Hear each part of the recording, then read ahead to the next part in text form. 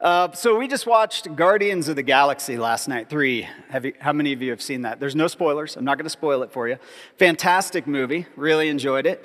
Um, there's a line in there that one of the characters uses that's going to be kind of uh, worked into what we talk about today, and that's it's nice to have friends. Who here, at least, if you didn't see the movie, can just give me an amen that it's nice to have friends? It's nice to have friends. It's really nice to have friends. I think Jesus spent a lot of time showing us that that, that is true as well. And on that note, let's take a look at a couple of passages from the New Testament. We're going to start in Matthew 6. Matthew 6, 19, 24. I'm going to, ah, I better leave it on. Do not lay up for yourselves treasures on earth where moth and rust destroy and where thieves break in and steal, but lay up for yourselves treasures in heaven where neither moth nor rust destroys, and where thieves do not break in and steal. For where your treasure is, there your heart will be also. The eye is the lamp of the body. So if your eye is healthy, your whole body will be full of light. But if your eye is bad, your whole body will be full of darkness. If then the light in you is darkness, how great is the darkness? No one can serve two masters, for either he will hate the one and love the other or he will be devoted to the one and despise the other. You cannot serve God and money. I've talked about this before. It's important to me. And um, that word for money there typically is mammon, which is bigger than money. It's the economies of our world. It's the stuff that makes our world go round, the big things that you don't even think about, that you accept and that you participate in, and that we all participate in here because we're here and it's a big experiment. But we sometimes can take for granted what that means. And I find it interesting that Jesus chooses to use the words, he'll, he'll either be devoted to the one and despise the other. He'll be devoted to the one and despise the other. So, this morning, first I'd like to look at, well, let's hop back up a couple verses and look at what does it look like to lay up treasures on earth? I think there's obvious stuff. Um, the material stuff that's easy to see, like money and our possessions. I think it's interesting that we call them possessions, but we don't have time to get into that. It's an interesting choice of words. What about the immaterial things? The things that we devote ourselves to, our passions, people, politics, political figures, ideals, governments, organizations, those are all part of the world economy, and those are all things that we can devote ourselves to. All the things that fuel the economy of the world, whatever the flavor of the economy of the world capitalism, communism, socialism, totalitarianism, other isms that I'm missing. What's it look like to store up treasure in heaven? Is what I wondered when I read this. And I think we have a misguided traditional view of what this means, like it's some sort of warped score system that Peter Hiett has made fun of in the past, helping us to calculate our score and see how well we're doing on amassing our heavenly treasures. Um, I tend to view it as literally true that Jesus was serious when he said repeatedly that the kingdom of God is at hand, that you can lay up treasures in heaven today and tomorrow. Can't do it yesterday. Um, Peter has created this nice image to help us with this paradigm shift that is required to see it this way that we are living in the sixth day of creation, still being created in the image, yet the cross has happened and has evaded all time. And our linear space time just kind of cruises through the middle of that. Not, it's not visible to us, but that doesn't mean it isn't there. Well, in regard to storing treasure in heaven, I think Jesus was speaking to this when he assured people repeatedly that all of the law and prophets hang on two commandments. You shall love the Lord your God with all your heart and with all your soul and with all your mind. This is the great and first commandment, he says. And a second is like that one you shall love your neighbor as yourself. In other words, you shall be devoted to God and in turn to your neighbor. I talked a while back about our neighbor being whoever's around us, and I still hold to that as a reality for us. The person in front of you is your neighbor when you're there, right? It's not the person that lives next to you in the house next to you only. That's not your only neighbor. That is your neighbor when you're at home in your house. So I want to talk about shadow a little bit. Light and darkness combine to make shadow. Shadow is not black and white, but it's gray. A shadow is created as light is blocked by something. It's so rare for us to see it on the moon that we all gather. We travel across the country to get to the specific point where you can get the best photograph of this event when it happens. It's so rare, a full eclipse. This is a photo uh, that Heather's brother took. He's a photographer in Columbus, Ohio. The guy is magical. He makes Columbus, Ohio look like a place I want to go. Like, it is really magical. He, his work is amazing. He took this in, uh, in Tennessee, wherever the, the best point was determined to be, Sparta, Tennessee. I remember uh, recently we had not a full eclipse, but a partial eclipse, and I was working, tearing down um, one of Bailey's sets from a play that she was in. It was late at night. We were all working hard to move all these heavy set pieces. We looked up and saw the moon turning red, and I remember everybody stopping what we were doing. We all stopped to gather together and just watch the event as it, as it passed. And that shadow is so rare to see on the moon that it gets our attention. It's really common on earth. The moon is a reflection of the light from the sun, and I think the sun was a reflection of the light from the Father. He repeatedly reminded us if you see me, you see him. We live in a shadow world, literally surrounded by shadows endlessly. I don't believe that we're ever, probably pretty rare if so, ever in total darkness or total light on earth. We're always in a mix of the two for the most part. Have you ever been trying to read and had someone walk in and stand in your light? Uh, maybe younger eyes, not so much an issue, but uh, all of a sudden you can't read, right? It's irritating. Hey, can you move out of the light? I'm trying to read. Um, but shadows are a part of our every moment on earth. You can't detach from your shadow, you cannot run away from it. We all tried as kids. We never succeeded. That thing always, unless you went into a darker place, right? Then you could get rid of it. Thomas Merton once said, A life devoted to shadow is a life of sin. I do want to dig into that a little bit this morning. This doesn't mean that life isn't still spent in shadows. What it's, what it's talking about, that quote, is the devotion that matters. It's the drive that matters. It's the focus, the dedication that matters. So many times in years past and with friends, I've preached or told people that being a Christian is about seeing past someone else's junk, right? In order to see the beauty in them or see the light inside them. Well, this morning I want to flip that narrative Let's try to think about it as really it's about seeing past my junk to see the beauty in Lynn and Bill and Tom and Josh, Peter. It's not about them, it's about me, not in a bad way. it's my heart condition. This is another paradigm shift that we're in desperate need of understanding, I feel. I'm in control of exactly one person in this world. You are in control of exactly one person in this world, parents included. We are guides for our children, but we are not in control of them. Just let one grow up. You will find out quickly if you don't find out when they're little. I'm just saying, perhaps it's better for us to focus on the dam that's stopping up the light in you, in us, and casts a shadow over them. Maybe our time is better spent on the shadow that we're casting.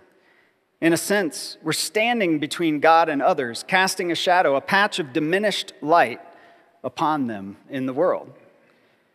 But we're busy, right? We've got to conduct transactions. Got to get to the next transaction. We've got to keep the economy of the world running. Well, I want to talk a little bit about devotion. since I think it's key to that Merton quote that devotion to shadow is a life of sin.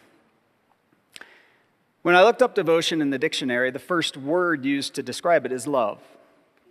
And then it's followed by loyalty or enthusiasm for a person, activity, or cause. I looked up despise. That's pretty strong. You don't really need to look it up, but I wondered what would come up. And it, it says to feel contempt or a deep repugnance for. Devotion to the things of this world, we're told in Scripture, creates enmity with God. Enmity, the state of feeling or being actively opposed or hostile to something or someone. It's what happens to our heart. It's a widely undiagnosed heart condition. Getting rid of all your possessions, well, it won't cure it. Your mind can still be possessed, alone and possessionless, but still possessed. Scripture is clear, I feel, that we can't serve two masters, we, but we do seem to have two masters vying for our devotion. Peter's talked about them endlessly through Romans every week, I think Jesus and Moses. Our devotion is constantly decided. It's, it's not a one, it's not a camp thing, as Peter said a couple weeks ago. It, it is not a one-time event at camp. It is constantly decided. Your devotion, day by day, minute by minute, second by second, is decided. While I was back from my grandfather's funeral, my, my grandmother, I found out, and he were married for 73 years. They were together for 78. And, you know, I hear people ask folks all the time in, in videos, you, wherever, social media, what's the secret? What's the secret to a 43 year marriage? Well, it's no secret. It's devotion. And a lot of times, it looks like choosing someone else over yourself. It's not pretty, really. It's, it's, uh, it's hard. But it is pretty at the same, it is beautiful, it's just not pretty. And that is part of what loving your neighbor as yourself looks like, I think. In Luke 16, there's a difficult passage that I love, quite frankly. So we're going to read this parable in Luke 16. He, Jesus, also said to the disciples, There was a rich man who had a main, uh, manager, and charges were brought to him that this man was wasting his possessions. And he called him and said to him, What is this uh, that I hear about you? Turning in the account, turn in the account of your management, for you can no longer be manager. And the manager said to himself, What shall I do? Since my master is taking the management away from me, I'm not strong enough to dig, and I'm ashamed to beg. I have decided what to do so that when I am removed from management, people may receive me into their houses. So, summoning his master's debtors one by one, he said to the first, How much do you owe my master? He said, A hundred measures of oil. He said to him, Take your bill and sit down and write fifty. Then he said to another, And how much do you owe? He said, A hundred measures of wheat. He said to him, Take your bill and write eighty. The master commended the dishonest manager for his shrewdness. For the sons of this world are more shrewd in dealing with their own generation than the sons of light. And I tell you, make friends for yourselves by means of unrighteous wealth, so that when it fails, they may receive you into the eternal dwellings. One who is faithful in a very little is also faithful in much, and one who is dishonest in a very little is also dishonest in much. If then you have not been faithful in the unrighteous wealth, who will entrust you to the rich to the true riches. And if you have not been faithful in that which is another's, who will give you that which is your own?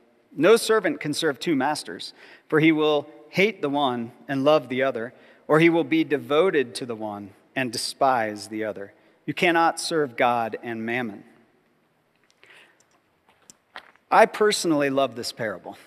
Anyone know why? It's because nobody knows what to do with it.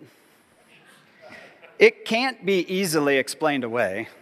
It doesn't fit the narrative. But, body of Christ, we, you, can't be explained away. And I don't believe we're called to live in a way fits the narrative, any of the narratives that try to absorb it. But specifically, the narrative that the systems of this world are more important than the person who's standing right in front of you right now.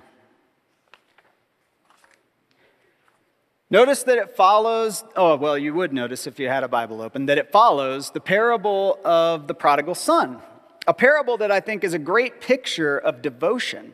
I think in that, in that parable, devoted to is the same, the picture of devoted to is the embrace of that father when his long lost son returns, the reckless abandon of the father running scandalously to embrace him. Peter talked about this parable recently and I want to look quickly at devotion in, in that parable of the prodigal son. The oldest son seems to be devoted to the property, the honor, the tradition, the possessions, the things of this world, unable to share in the joy of the return of his younger brother. The younger brother was also lost for a while in devote, and devoted to passions and desires. Both brothers are guilty of pride and arrogance in that regard. One was obvious because he flaunted it, reveled in it, and one was less obvious because he hid it in his heart. Well, back to the parable of the dishonest manager. We're not going to unpack this parable this morning, but I believe the key to understanding lies in verses 8 and 9. For the sons of this world are more shrewd in dealing with their own generation than the sons of light. And I tell you, make friends for yourselves by means of unrighteous wealth, so that when it fails, they may receive you into the eternal dwellings. This parable is filled with and takes place in the shadows. It's honest. I had a couple of observations. Unrighteous wealth. Is there any wealth that's righteous? Maybe. Our economy versus God's economy, that's a tough, that's a long, that's a philosophical discussion. I'll leave that to the philosophers. Make friends for yourselves. Seems pretty clear. Don't think that needs much unpacking, right? And eternal dwellings. Your friends will greet you. Seems like the treasure might be relational, even in heaven, in the eternal dwellings.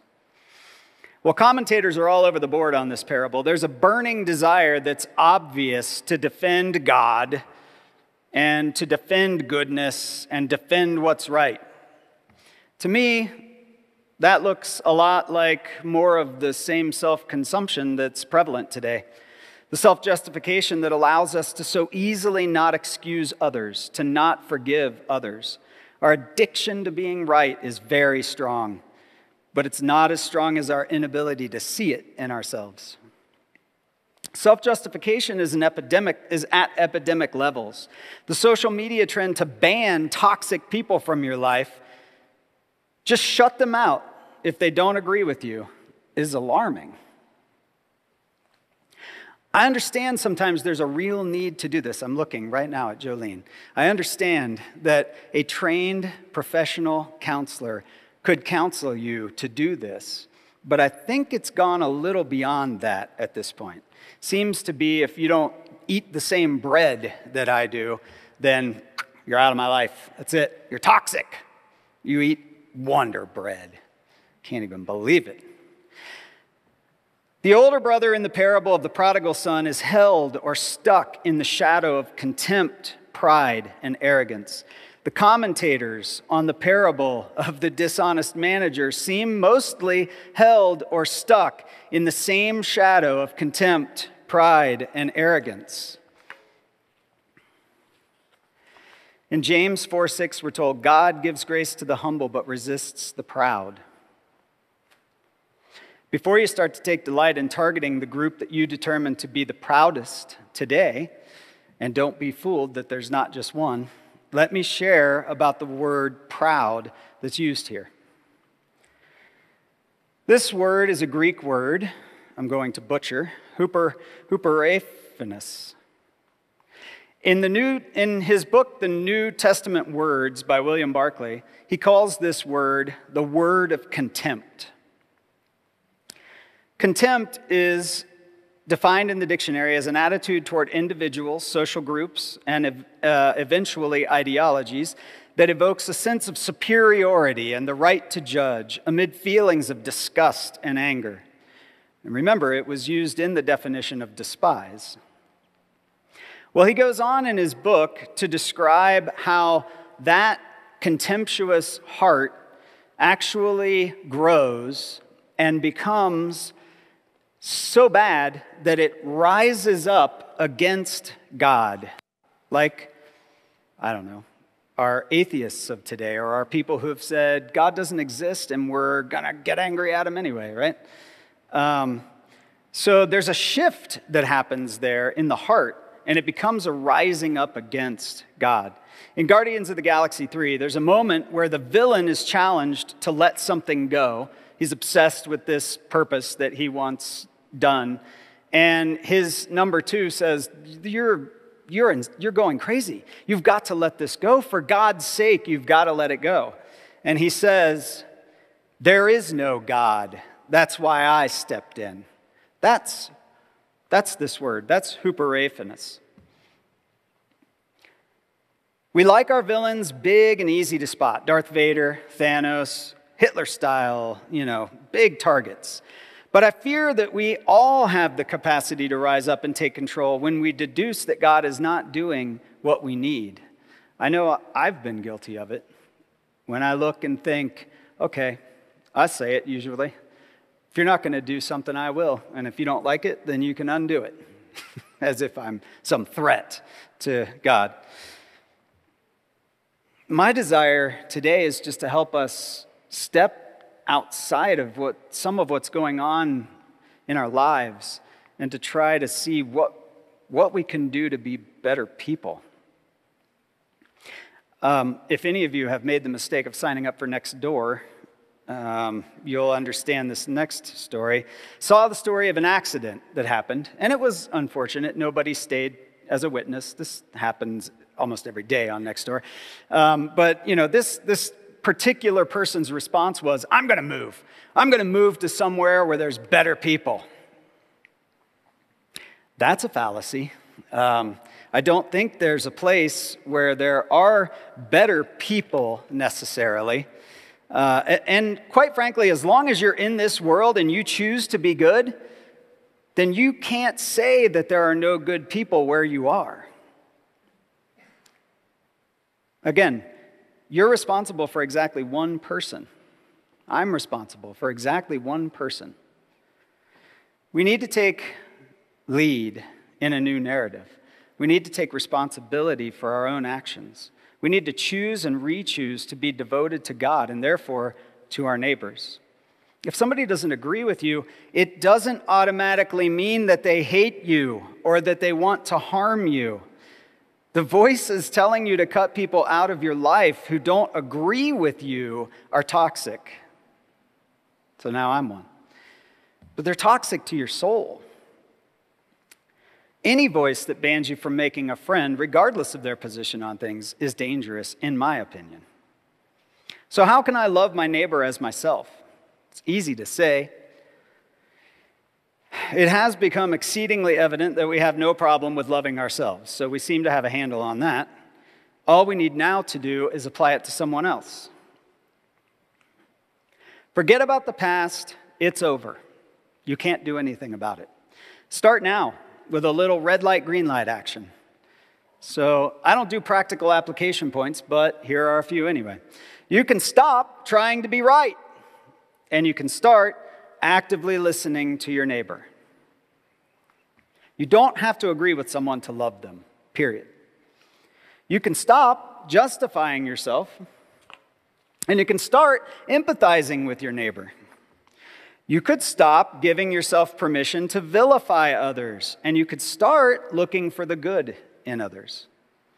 You could stop justifying your bad behavior with someone else's worse behavior and calling it good, and start treating others the way you prefer to be treated. Yes, even those with whom you disagree.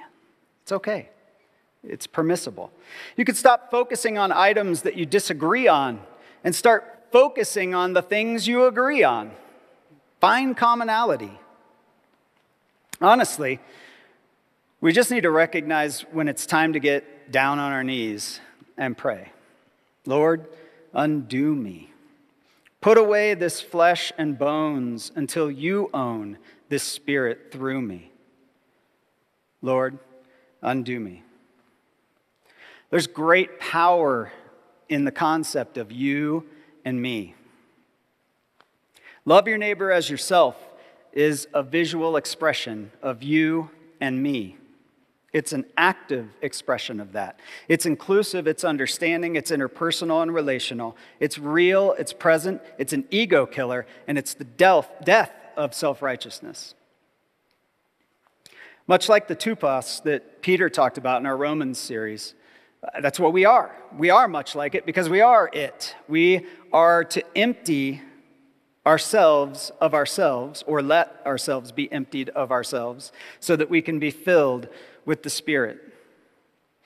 There's a friend of ours that was on Chew the Fat. His name is Michael. He was sharing uh, some extreme life trials that he was going through this last week that we met. It's costing him all the treasures of this world, and it's hard. He recognizes that it's God. He recognizes that God is teaching him something about pride in the midst of what he's going through. He's convinced that God is doing it because it's so painful. I mean, he's concerned that God is doing it because it's so painful. And his question to the group was how, can I how can I live? How can I love myself and hate my life? Is the question that Peter posed last week in the sermon. A lot of times I've found myself there asking God, How much more, God? How much more? And how much longer? Seriously, dude.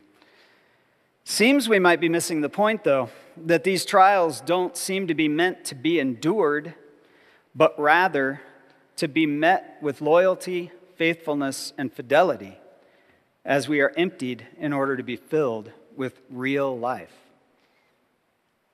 And that's my encouragement to you today is just get on your knees and ask to be undone. And let the Lord do what it is that he does so well. Fill you with his spirit so that it can flow out to your neighbor. Amen. So this will be interesting. Got a microphone in my hand, so bear with me. Um, Oh, it is? Okay. Nice. Thank you. Okay. So, on the night that he was betrayed by his friends, it's nice to have friends. Jesus took bread and he broke it, saying, This is my body broken for you. Eat of it and do so in remembrance of me. In the same manner, after giving thanks, he took the cup, saying, This is my blood poured out for the forgiveness of sins. Drink of it, all of you, and do it in remembrance of me. We invite all to the table to tear off a piece of bread, dip it in the wine, and ingest the dunamis power of God, the power to transform us in each and every now in which we find ourselves. The brown cups are wine, the blue cups are juice. Both are the blood of Christ poured out for all of you, all of us. This field of dandelions, how many people have eradicated them and said, those are never coming back? But the point is not that you're never going back. The point is, what's your response going to be when you go back? What will your response be? And I hope it's an open heart. I have a few more things that we can try to be better people as by way of benediction. We could stop trying to manage the light Stop trying to manage the Holy Spirit. We're not managers of the Holy Spirit. We are vessels of the Holy Spirit. We're not managers of the light from heaven, from God. We are, we are vessels of the light. And this is the porthole through which the light comes into our world. We could stop standing in or blocking the light for others. We could start being aware of the person next to us and their need for that light. We could stop seeing a weed when you look at dandelions. We could start seeing flowers. We could pay attention to the shadow that we're casting and repent. How, how am I blocking the light? Am I an arbiter of light, a manager of light, a steward of light, or a vessel of light? We're called to take part in a symphony of disagreement in a field of dandelions, weeds. Beautiful. And for that, I say it's nice to have friends. Dandelions agree. I'm not asking you to trust me. I'm not asking you to trust John, who is faithfully slaving over the grill right now for us. I'm not asking for you to trust Peter. I'm not asking for you to put your faith in Joe Biden. I'm not asking for you to put your faith in Donald Trump. I'm not asking for you to trust the Republicans. I'm not asking you to trust the Democrats. I'm not asking you to trust the Libertarians. I'm not asking you to put your faith in CNN, Fox News, MSNBC, ABC, CBS, Newsmax, Sky News, Daily Wire, anyone else I left out. I'm not asking you to trust Mark Zuckerberg. I'm not asking you to trust Joe Rogan. I'm not asking you to trust Elon Musk. I'm not asking you to trust the US government. I'm not asking you to trust the communist government. I'm not asking you to trust any socialist government. I'm not even asking you to trust the World Health Organization. I'm not asking you to trust the many institutional churches in our world. I'm asking you this morning to trust the Holy Spirit of God and to be devoted to that Spirit. And I know that many of you are, and I know that we fight that battle together all the time. And I'm just encouraging you to continue that battle and to remember the place in your heart that that holds. Please, these things lead to heart conditions, and they're really not as important as, important as they think they are. And I just hope you can see that. By the way, do you know what happens to these things? That's what happens to them. They go to seed, and then they go crazy, and they're really hard to contain.